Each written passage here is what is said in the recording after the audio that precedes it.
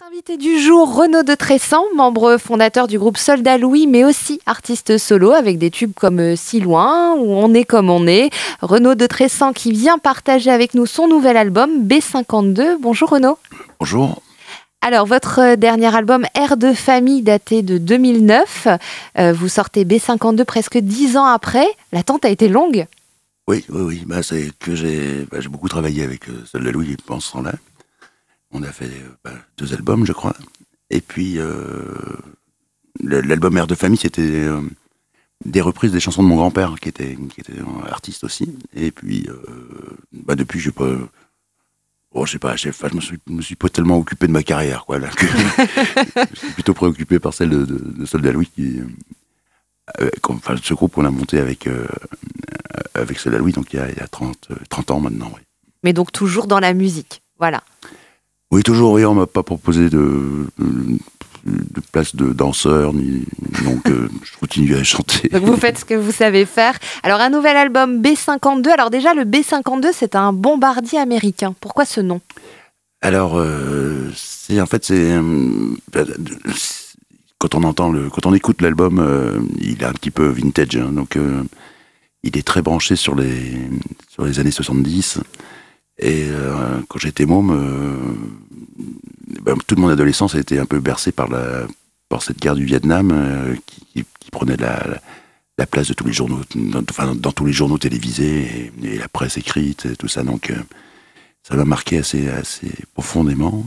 Et, quand j'ai commencé à écrire ce disque, c'est la première chanson qui m'est venue à l'idée, cette, ce, ce, ce mélange de, de, de guerre au Vietnam, de, de peace and love aux États-Unis, enfin de Woodstock, euh, tous ces artistes qui, euh, qui, qui, qui réclamaient la paix dans le monde euh, avec le flower power. C'était, euh, je trouve, trouve aujourd'hui que c'était tellement romantique. euh, utopique et, sympathique. Voilà, c'était un petit, hommage à ma façon pour euh, cette époque des années 70. Et un hommage avec un titre hein, qui s'appelle également euh, B52 dans, dans l'album. Donc un album assez sobre, sans, sans fioriture, avec une écriture euh, tout de même reconnaissable. Dans le titre, les notes imprécises vous, par- imprécises, vous parlez de nuit blanche d'écriture. Ça a été le cas pour cet album?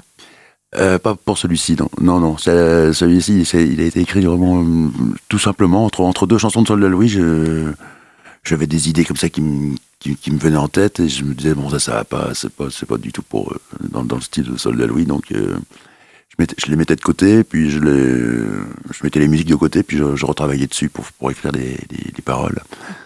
Hum, Donc c'est bon, c'était un peu ma récréation euh, Oui. entre, entre, entre les chansons de Soldat Louis. Quoi. Donc j'ai avez- fait les deux, les deux albums en même temps, enfin en, en parallèle, et c'était euh, c'était ma, ma petite récréation à moi. Quoi. Et vous avez euh, gardé de beaux titres pour vous. Alors, vous balayez tous les sujets hein, dans cet album, les attentats du Bataclan avec Prête-moi ta main, ou encore l'enfance avec euh, C'était mieux avant, et sur tous les rythmes. On a du rock, de la country, du jazzy.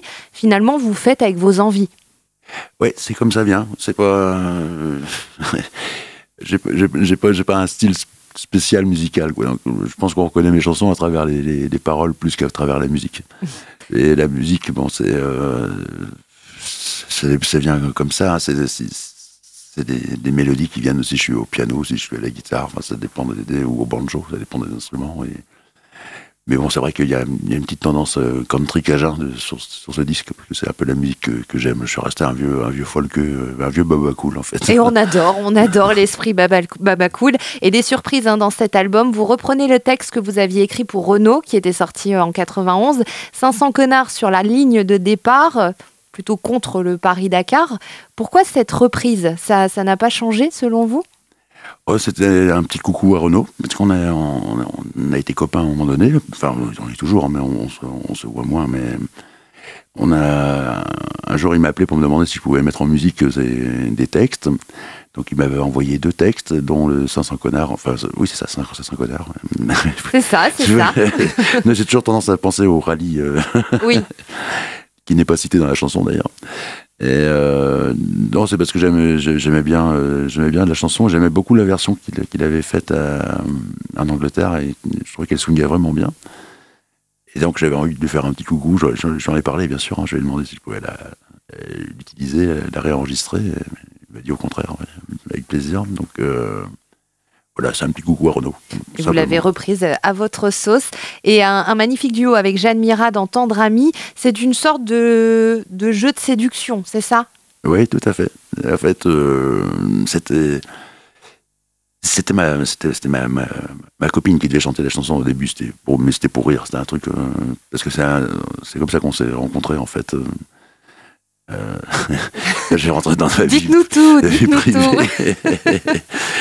parce qu'il y avait trois, trois jeunes filles euh, qui venaient souvent nous voir avec celle Louis, et, et puis bah, il y avait deux, gamines, une un petit peu plus âgée, donc j'avais donné ma, ma, carte de visite à la plus âgée.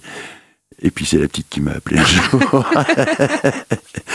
et voilà, donc, euh, comme elle me reprochait d'avoir, d'avoir rien écrit sur nous euh, depuis, bah, depuis 8-9 ans qu'on, est ensemble. Alors, du coup, dans, le disque, j'ai fait deux, trois chansons sur notre, sur notre histoire, dont, dont Tendre Ami, parce que c'est comme ça que ça s'est passé. en tout cas, ça vous a séduit. Oui, oui, puis bon, j'ai réussi à le séduire aussi. Donc mais c'est vrai que quand je l'ai connu, euh, je, J'envisageais même pas une demi-seconde. On lui fait coucou, hein, évidemment. Et, un petit plaisir qui s'est glissé dans l'album, une reprise de Jodassin, Salut les amoureux. J'avoue que j'ai eu un, réel plaisir à réécouter ce titre. C'était le but, en fait, que les gens euh, redécouvrent ce titre?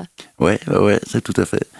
Parce que c'est une chanson euh, américaine hein, qui s'appelle The City of New Orleans une chanson que je connaissais par Arlo Guthrie. Et, euh, j'ai entendu Jodassin la, la, reprendre en français un jour. Et j'aimais beaucoup Jodassin quand j'étais môme, il hein, faut, le lire aussi. C'était un petit peu mon, idole. Et, cette chanson, je la, chante, je chante souvent euh, quand on est entre copains ou quand il y a une guitare qui traîne. Je prends la guitare, je chante euh, Salut les amoureux parce que j'aime bien, la, bien la musique et j'aime bien le, texte français aussi. Je trouve qu'il est il raconte pas du tout la, version originale, hein, mais euh, j'aime bien comme c'est écrit, je trouve ça joli, je trouve ça euh, franc du collier quoi. Il a pas de l'histoire euh, raconte vraiment une séparation qui se passe bien quoi, enfin plus ou moins bien, mais c'est plutôt joyeux. Et j'aime bien la, j'aime bien la chanter parce que je trouve que la mélodie est, magnifique en fait. Donc c'est pour ça aussi. Puis, comme j'aimais bien Jodassin et puis moi j'ai du plaisir à la chanter. Je me suis dit bah pourquoi pas l'enregistrer. en tout cas c'était ouais, c'était vraiment un, réel plaisir de, de la réentendre en plus euh, avec euh, voilà avec votre voix. Ça, ça, donne complètement autre chose. Donc on le rappelle, l'album B52 est sorti. Renaud Dautressan, on vous retrouve quand sur scène? Surtout quand en Bretagne? Alors en Bretagne, euh, je ne sais pas vraiment. Normalement, je, je, je commence en fait. Je, commence une, une, vraie tournée à partir de de septembre, euh, septembre octobre 99. ça c'était avant. Ça avant. 2019. Bah, ça, nous, ça nous rajeunirait. Hein. Non, non, non. Donc alors, normalement, la, tournée va commencer euh, septembre-octobre 2019. On est en train de travailler dessus là, et puis, et puis j'espère qu'il y aura, il y aura forcément des dates en Bretagne. Là, j'ai fait un spectacle il y a 15 jours à, à côté de Lorient, à Pleumeur, à la salle Océanis pour présenter le, disque et ça apparemment ça, a bien marché, ça, a plu au public et, puis moi j'étais impatient aussi de, faire un petit peu de scène sans, mes copains de Soldat Louis. Pas parce que je les aime pas, au contraire, hein, mais euh, ça me faisait une petite, une petite récréation aussi. C'était euh, avec mes musiciens, c'est un, groupe qui s'appelle le Peter Alexander Band, qui est, qui est un groupe de Seine-et-Marne et, euh, que je connais depuis, depuis 25 ans à peu près. Et j'ai toujours eu euh, envie de, travailler avec eux parce qu'ils font, ils font, de, ils font beaucoup de reprises euh, de, musique euh, de rock, du, rock sudiste, en fait, américaine. Et, j'adore, j'adore cette musique-là. Donc là, j'aurais proposé d'enregistrer ce disque. Et ils n'ont pas très bien compris au début, quoi, parce que j'aurais dit, moi je fais de la variété, hein, c'est de la variété française en plus, c'est même pas celtique, ni quoi que ce soit. C'est de la variété vraiment typiquement française. Et j'aurais fait écouter les chansons, et puis ils ont, ils ont, bah, ils ont, ils ont bien aimé, ils ont, puis on a travaillé vraiment, vraiment dur dessus. Quoi. Ça, tout à l'heure, on m'avait dit que c'était un, album sans, sans, sans fioriture. Sans fioriture, mais justement, c'est ça qui me plaît, c'est que, qu'on entende comme si c'était naturel, en fait, qu'on n'entende pas le travail qu'il y a derrière. Quoi. Ça, me, ça me plaît, ça, parce que les, les, chansons où il y a beaucoup de choses, enfin, on entend plus des arrangements que que la chanson. Ça, me dérange. J'aime bien quand on entend vraiment la chanson et, pas trop ce qui se passe derrière. Quoi. Et, en fait, derrière, il se passe plein de, plein de choses. C'est des petits détails qu'on discerne à peine. Mais il y a eu beaucoup de, beaucoup de travail dessus et, je, je, suis vraiment content du résultat. Et là, j'ai vraiment créé une, une aventure avec le Peter Alexander Band. Donc, du coup, on est cinq. Et, là, bah, je suis obligé de jouer vraiment de la guitare. Enfin, c'est pas, c'est pas comme avec Solalou, je fais que de l'accompagnement euh, derrière. Là, je, je, suis guitariste. Et cet album, donc, ça, ça, coule comme une évidence. On va rester alerte pour euh, surveiller les dates, hein, pour vous voir sur scène. Merci beaucoup, Renaud de Tressan. B52, un bijou à découvrir. Je vous laisse le mot de la fin pour nos auditeurs. Eh bien, écoutez, euh, écoutez bah, le mot de la fin, ça va être que je, souhaite entendre très souvent mes chansons sur, euh, sur RMN. Et puis, euh, c'est une chanson, c'est une radio pardon, que j'écoute régulièrement parce que je vais souvent, très souvent à Rennes. Et dès que je passe Bleu Hermel, tout ça, je, capte et je, reste dessus jusqu'à chez moi, à côté de Lorient. Quoi. Donc, j'aime beaucoup cette, cette station. Mais merci beaucoup. C'est moi qui vous remercie.